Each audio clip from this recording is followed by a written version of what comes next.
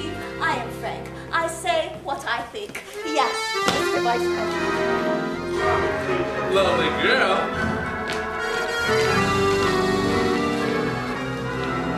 Those of Monsieur Preston. They are all in love with themselves. And now, oh yes, it, it's hoping of a happy future. So much, and I have so little, and I must